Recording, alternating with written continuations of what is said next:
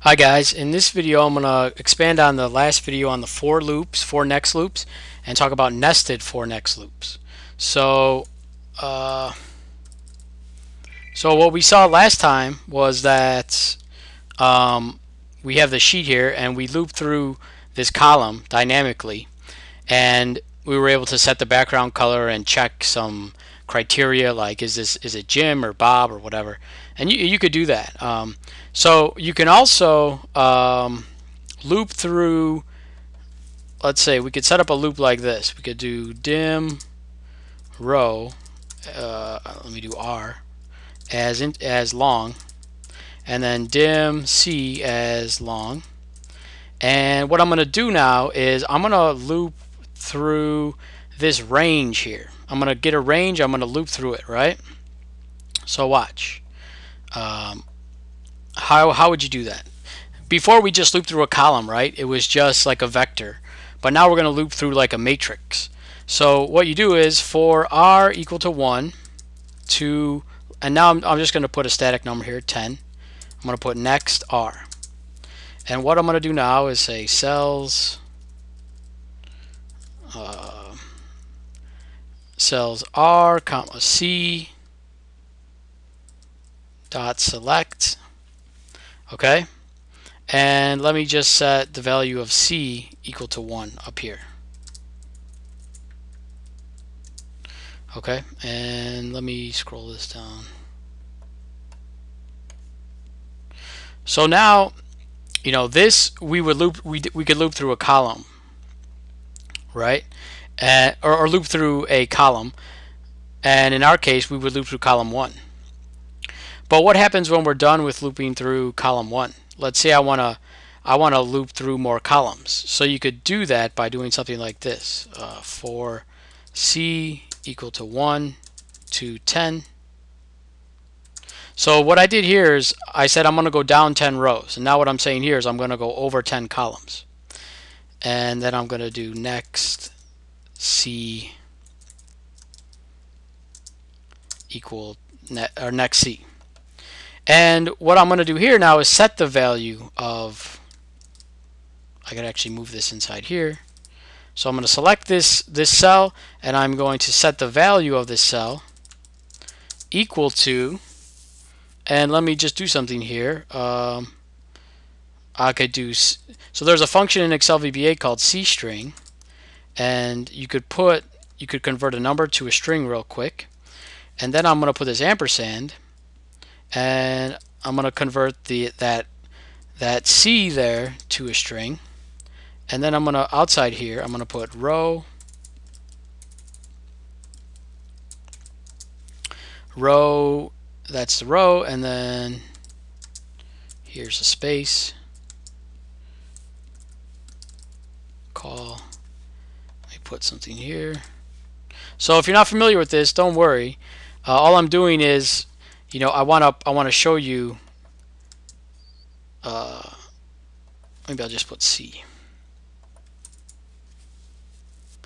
Yeah. So what I want to show you is that you can inside the value of a cell you can put like a string like this, and but my string needs to contain these numbers, and to do that you use a a VBA function, this CSTR when you put a number in there, it allows you to write it like a string. Okay, so what, let's see what, what this thing does. Um, when we step through this, let's just step through. So here, I step through up to this point where cells RC is selected, right? So in our case, R is 1 and C is 1. And I could see that, uh, well, R, R is 1 and C is 1. And now I'm going to put that string in there. And here you go. R1, C1. That comes from this thing right here. The value is equal to this. R, you use this ampersand when you want to append things to a string. So you use your, your uh, quotation marks and you put a string inside. And then if you want to append things to that string, you use an ampersand. And you could append variables or um, other strings but you could do it like this. You use the ampersand and then the variable. For a variable, you don't use quotations. You just do it like that. And if the variable is a number, though, you need to put C string around it. Okay?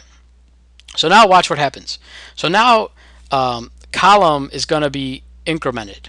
Okay, so now we're going to increment column. But notice that since we nested this for loop inside here, all we're going to do is move over one column. So now if I select this cell, here I, I, I moved over one column, right? And now I'm going to put, you know, R1, C2. So R stands for row and C stands for column. So this is row 1, column 1, row 1, column 2. And now if I run this thing, if I just press run, you know, well, let, let me see what happens. I'll put a breakpoint here. And if I put a breakpoint there, what's going to happen is after it falls out of this loop, we're going to be able to see what happens. So let me just run this now. And look what happened. So we have R1, C1, R1, C2, R1, C3. So it looped through this whole row 10 uh, through 10 columns. So that's that's what this nested loop did. And now if I do it again, if I run this again, you know, R is going to be incremented here. So R is now going to be 2. And it's going to compare it to 10. It's going to say, is 2 greater than 10? And it's not. So it's going to do this again, this other loop again. So let me just run this again. And there you go. You got R2C1, R2C1, or R2C2, right? So now if I just take this thing off, I think you understand what's going on. I could take the breakpoint off, if I can select it. Oh, won't let me get it. Oh, I might have just run. I can't really select it. So I'm just going to keep running it, but you could see what's happening over here. Let me try to move this over. As I keep running it, it's looping through, right? And here we are. Uh, R is, is equal to 9. So if I increment this, uh, let me just step through here. R is going to be 10, but it 10's okay, remember? It has to be greater than 10 to fall out of this main loop. Okay, so now we could run it again, and there we are.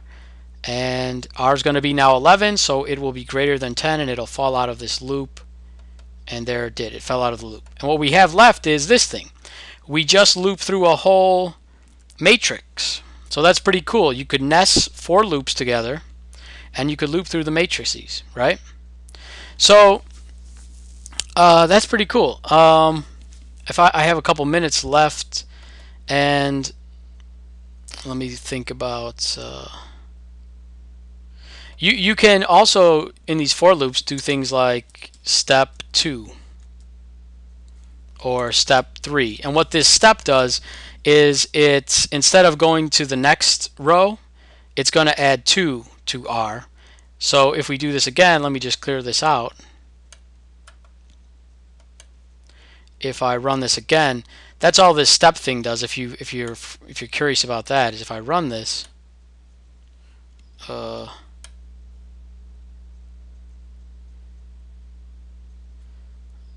let's see.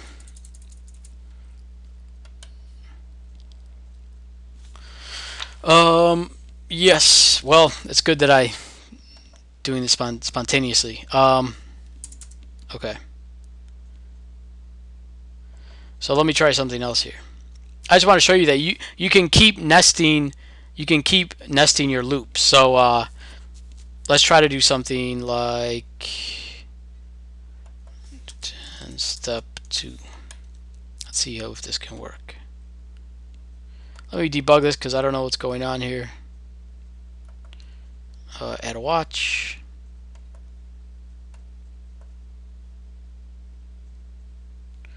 r equals to 1.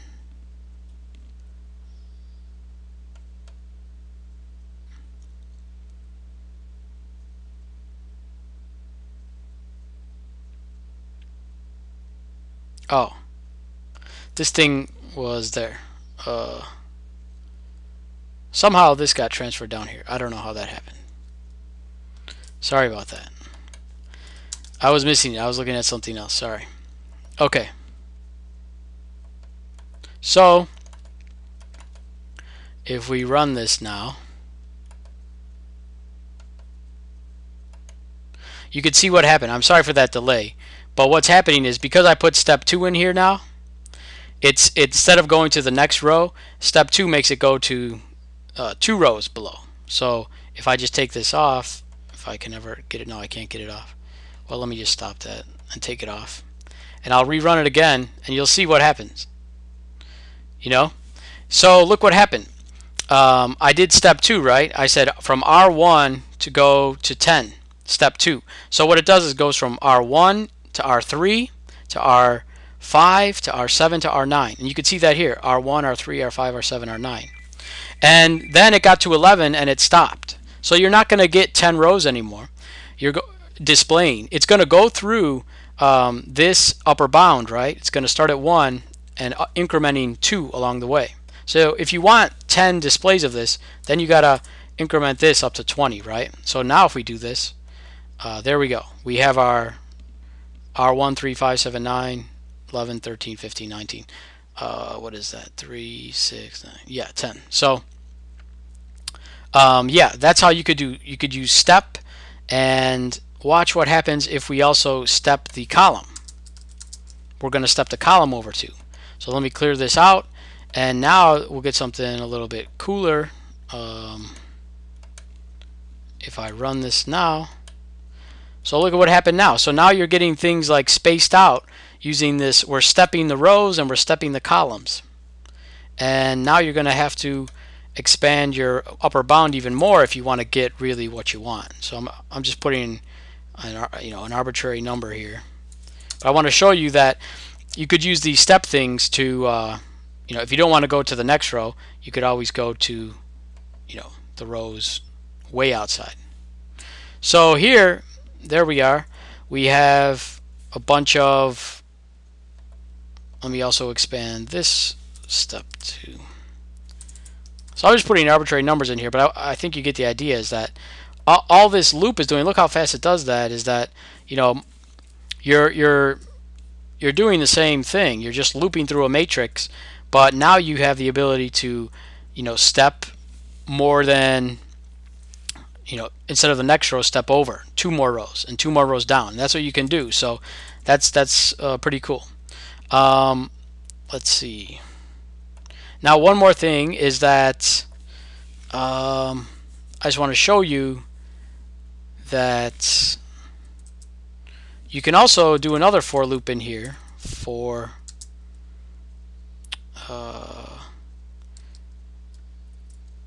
I'm just going to put x equal to 1 to 100 then I'm going to put uh, next x. And then I'm going to put uh, x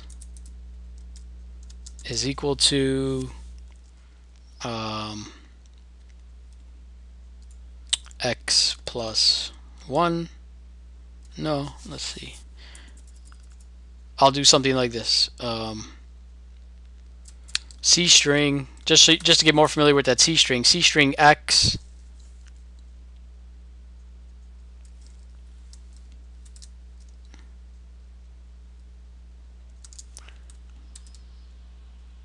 plus C string X.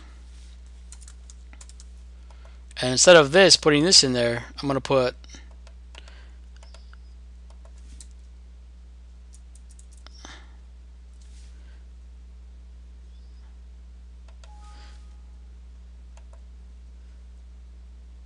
So I, I, think I should do this uh, str plus C string X. So I'm going to put a string in here in, in this cell. And what's it, what it's going to do,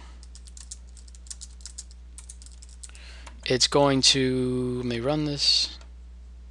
So look now what it does. Um, instead of those cells, you know, I, I put in the cell, I put, I, I looped from 1 to 100 in the cell. So the value in these cells is now, you know, 1 to 100. So I used a for loop to generate a string, and that string is 1 to 100. And that's what I did here. Um, I don't know if, if you understand that or what I did here, but I just did three. Now I nested another loop, three nested loops. And in the last one, I made a string that has the numbers 1 to 100. And that's what this thing does right here.